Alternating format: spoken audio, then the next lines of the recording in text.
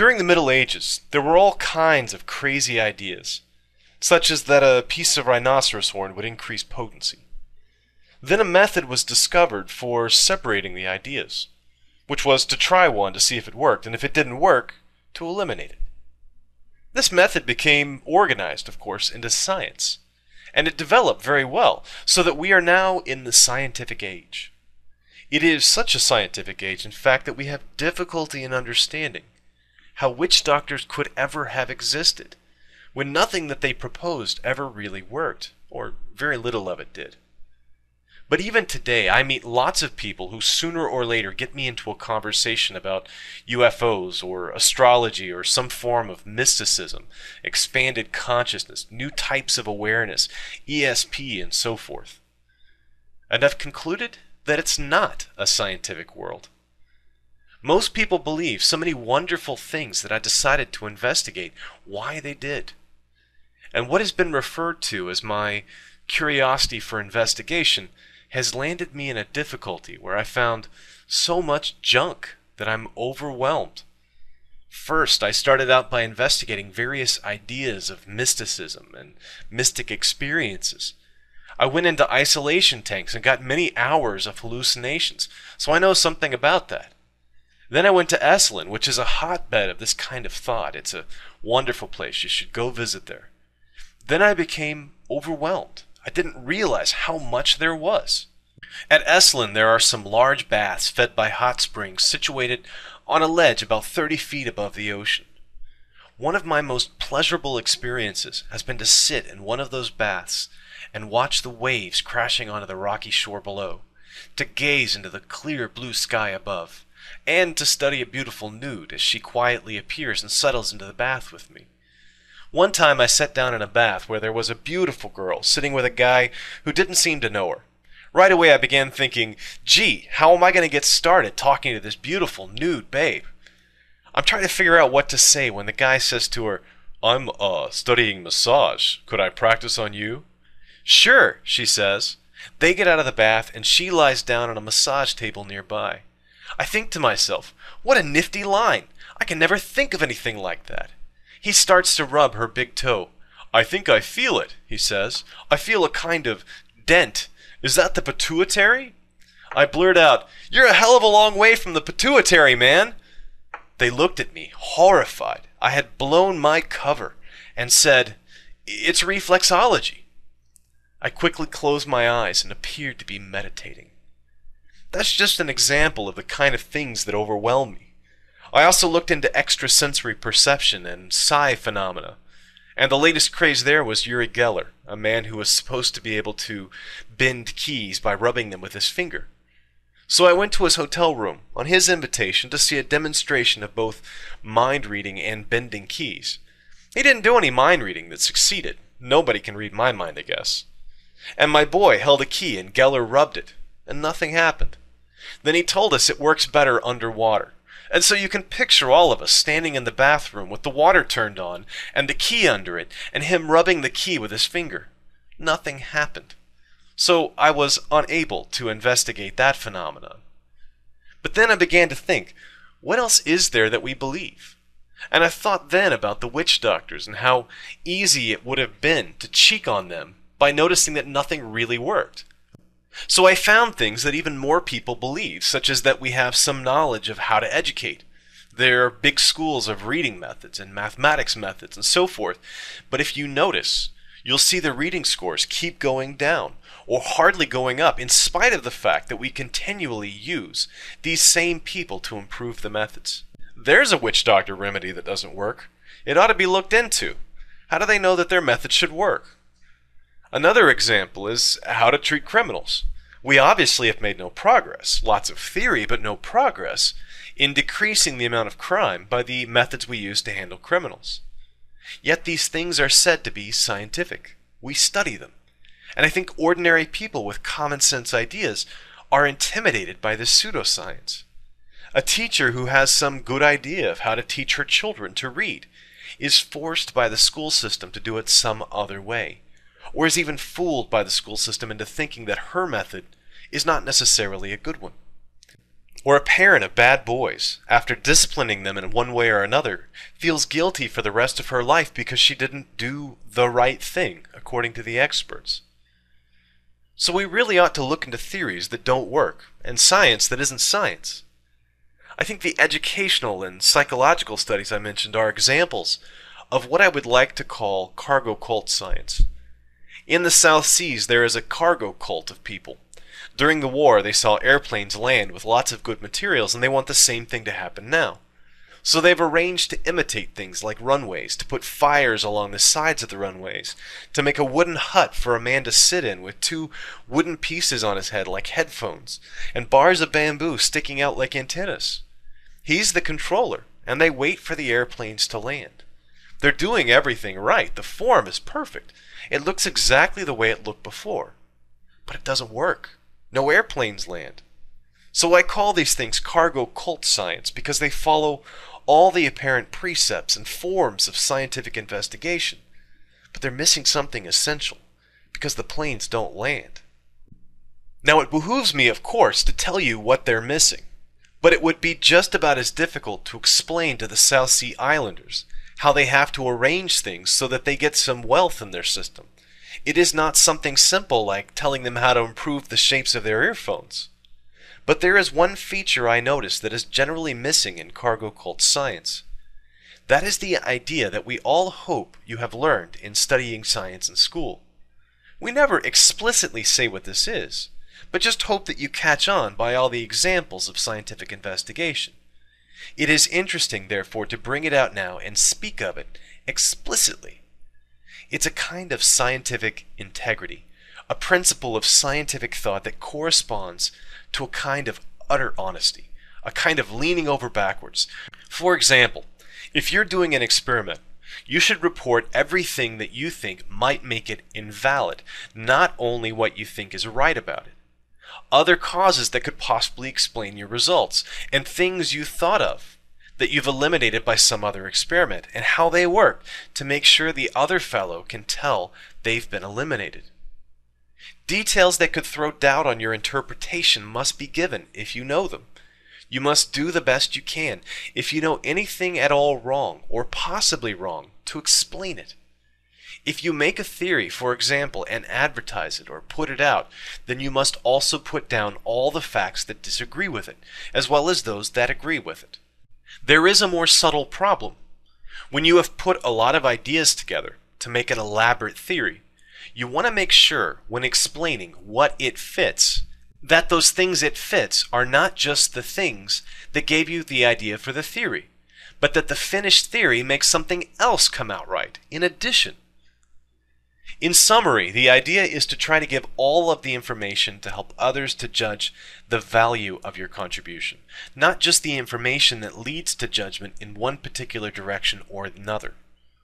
In summary, the idea is to try to give all of the information to help others to judge the value of your contribution, not just the information that leads to judgment in one particular direction or another. The easiest way to explain this idea is to contrast it for example, with advertising. Last night I heard the Wesson oil doesn't soak through food. Well, that's true. It's not dishonest. But the thing I'm talking about is not just a matter of not being dishonest, it's a matter of scientific integrity, which is another level. The fact that should be added to that advertising statement is that no oil soak through food if operated at a certain temperature. If operated at another temperature, they all will, including Wesson oil. So it's the implication which has been conveyed, not the fact, which is true. And the difference is what we have to deal with. We've learned from experience that the truth will come out. Other experimenters will repeat your experiment and find out whether you were right or wrong. Nature's phenomena will agree or they'll disagree with your theory. And although you may gain some temporary fame and excitement, you will not gain a good reputation as a scientist if you haven't tried to be very careful in this kind of work. And it's this type of integrity, this kind of care not to fool yourself, that is missing to a large extent in much of the research in cargo cult science. A great deal of their difficulty is, of course, the difficulty of the subject and the inapplicability of the scientific method to the subject. Nevertheless, it should be remarked that this is not the only difficulty. That's why the planes didn't land, but they don't land. We have learned a lot from experience about how to handle some of the ways we fool ourselves. One example Millikan measured the charge on an electron by an experiment with falling oil drops, and got an answer which we now know not to be quite right. It's a little bit off because he had the incorrect value for the viscosity of air. It's interesting to look at the history of measurements of the charge of the electron after Millikan. If you plot them as a function of time, you find that one is a little bigger than Millikan's, and the next one's a little bigger than that, and the next one's a little bit bigger than that, until finally they settle down to a number which is higher. Why didn't they discover that the new number was higher right away? It's a thing that scientists are ashamed of, this history, because it's apparent that people did things like this. When they got a number that was too high above Millikan's, they thought something must be wrong, and they would look for and find a reason why something might be wrong. When they got a number closer to Millikan's value, they didn't look so hard, and so they eliminated the numbers that were too far off, and did other things like that. We've learned those tricks nowadays, and now we don't have that kind of disease. But this long history of learning how not to fool ourselves, of having utter scientific integrity is, I'm sorry to say, something that we haven't specifically included in any particular course that I know of. We just hope you've caught on by osmosis. The first principle is that you must not fool yourself, and you are the easiest person to fool. So you have to be very careful about that. After you've not fooled yourself, it's easy not to fool other scientists. You just have to be honest in a conventional way after that. I would like to add something that's not essential to the science, but something I kind of believe, which is that you should not fool the layman when you're talking as a scientist. I am not trying to tell you what to do about cheating on your wife or fooling your girlfriend or something like that when you're not trying to be a scientist, but just trying to be an ordinary human being. We'll leave those problems up to you and your rabbi. I'm talking about a specific, extra type of integrity that is not lying, but bending over backwards to show how you are maybe wrong that you ought to have when acting as a scientist. And this is our responsibility as scientists, certainly to other scientists, and I think to laymen. For example, I was a little surprised when I was talking to a friend who was going to go on the radio. He does work in cosmology and astronomy, and he wondered how he would explain what the applications of his work were. Well, I said, there aren't any. He said, yes, but then we won't get support for more research of this kind. I think that's kind of dishonest. If you're representing yourself as a scientist, then you should explain to the layman what you're doing. And if they don't want to support you under those circumstances, then that's their decision. One example of the principle is this. If you've made up your mind to test a theory, or you want to explain some idea, you should always decide to publish it whichever way it comes out. If we only publish results of a certain kind, we can make the argument look good we must publish both kinds of results. I say that's also important in giving certain types of government advice. Supposing a senator asked you for advice about whether drilling a hole should be done in his state, and you decide it would be better in some other state. If you don't publish such a result, it seems to me you're not giving scientific advice. You're being used. If your answer happens to come out in the direction the government or the politician like, they can use it as an argument in their favor. If it comes out the other way, they don't publish it at all. That's not giving scientific advice. Other kinds of errors are more characteristic of poor science. When I was at Cornell, I often talked to the people in their psychology department. One of the students told me she wanted to do an experiment that was something like this. It had been found by others that under certain circumstances, X, rats did something, A. She was curious as to whether, if she changed the circumstance to Y, they would still do A. So her proposal was to do the experiment under circumstances Y and see if they still did A. I explained to her that it was necessary first to repeat in her laboratory the experiment of the other person, to do it under condition X to see if she could also get result A, and then change to Y and see if A changed.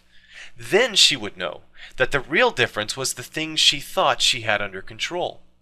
She was very delighted with this new idea and went to her professor. And his reply was, No, you cannot do that because the experiment has already been done and you'd be wasting time. This was in about 1947 or so, and it seems to have been the general policy then to not try to repeat psychological experiments, but only to change the conditions and see what happens. Nowadays, there's a certain danger of the same thing happening, even in the field of physics.